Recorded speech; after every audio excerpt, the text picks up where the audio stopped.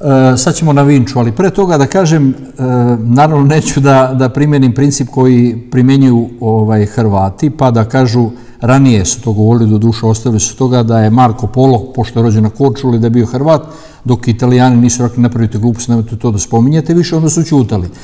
Ovaj, ali, na primjer, Dubrovnik, da ne otvaramo tu priču, sve što je bilo u Dubrovniku, Dubrovnik je 39. ulazi u sastav nekakve Hrvatske i oni to pripisuju svoje baštini, Hrvatstvu i tako dalje. To je, posebno ti znaš o tome, i poznata je stvar.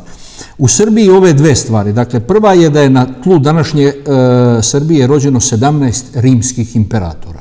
Ja naravno ne tvrdim da su oni bili Srbi, niti ulazim u to. Zamisli tu činjenicu da ima neka država u Evropi koja bi to mogla da kaže. Da ulaziš na Bajakovu ili Batrovcima i da je veliki, ogroman ovaj, e, pano na kome piše dobro došli u Srbiju, u zemlju u kojoj je rođeno 17 rimskih careva. To, je, to, je, to u Evropi ne zna niko, apsolutno. I druga stvar, da je civilizacijski pupak, da tako upotrebim termin, vinčan. Šta, ajde, onako, znam da bi ti trebalo dva, tri sata, ali ono najosnovnije u Vinči, šta je ono što se zna i što je nesporno, a ovdje je čak i e, ovdje se izvrće, spomenuli smo to na početku, podsmehu.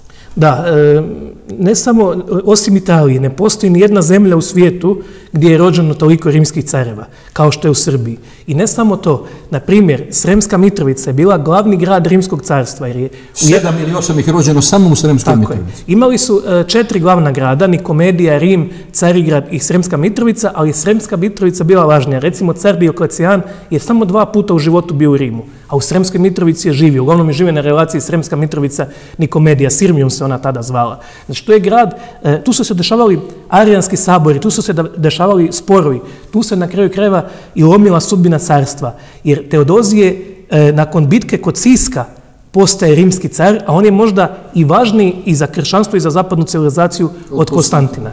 Zato što je on u stvari preko svetog Jeronima, koji je opet sa naših krajeva negdje e, iz današnje, vjerovatno, Hercegovine ili Bosne, bio taj Stridon, mada ga smještaju i, i za Čakovca i prema Sloveniji, jer se ne zna točno gdje je bio, najvjerovatnije da je bio negdje u današnjoj Bosni i Hercegovini, on je u stvari sastavio ovu e, verziju Biblije. Koje knjige ulaze u Bibliji i koje verzije knjiga ulaze u Bibliju? Znači, Sveti Jeronim i u vrijeme cara Teodozija i pape Damasa, kad se lomila sudbina i zapadne civilizacije i kršćanstva. Jer da nije pobjedila e, ta verzija, pobjedila bi ova arijanska verzija koja imala kod nas svoje sabore.